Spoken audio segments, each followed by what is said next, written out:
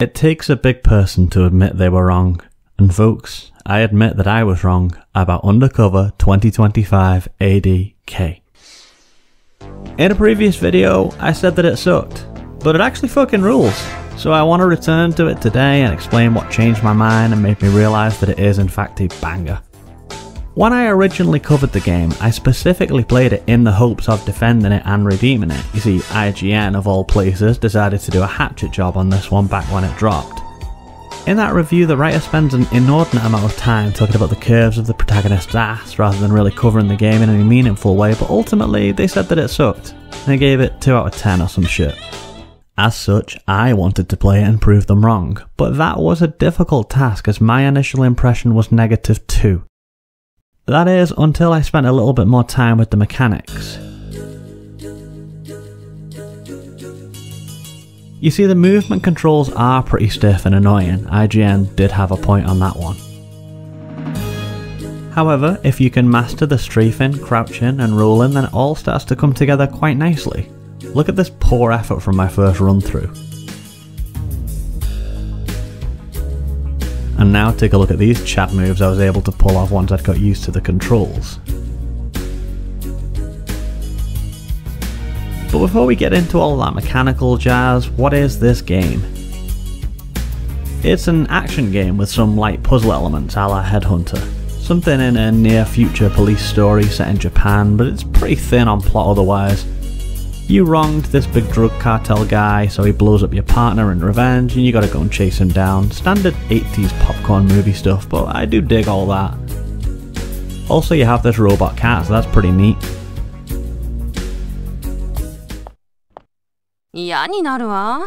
まだ朝食もとってないのに。 The game starts with you rolling up in this hotel where some shit's popping off, several people have been murdered, but you come in blasting and get yourself a card key. Now this is where I gave up the first time through as the key didn't seem to open any of the doors here. Upon replaying it, I now realise that this has the Resident Evil 1 mechanic, where a door will never automatically check if you have a key.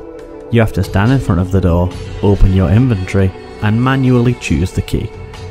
A little bit clunky, but nothing game breaking once you know what you're doing.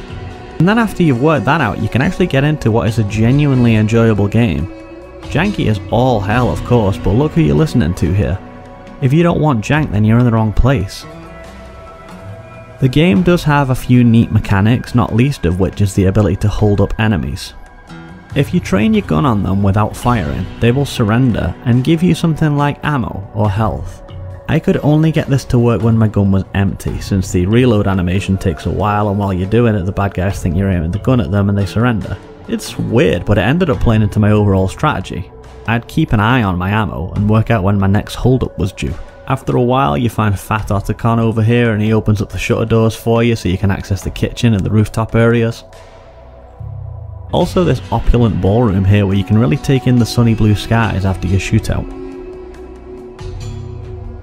Once you get up on the roof, it all starts to get a little bit Metal Gear. You got these big aircon units here with the little crawl spaces that you can sneak under.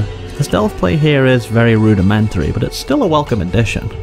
And after the opening raid mission is done, we get a change of pace walking around the city streets at night, checking into this dingy hotel.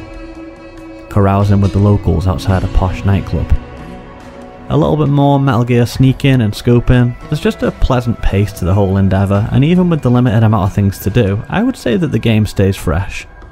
After getting used to the controls and blasting through the first few sections, I started to develop a very positive view of this game, and I am going to play it through to completion.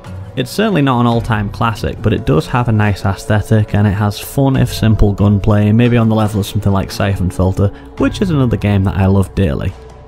So if you like kinda generic third person shooters from this era, I think you should definitely check this one out. But stick at it and get used to the weird controls, and if you do that, you'll soon be having a fine time.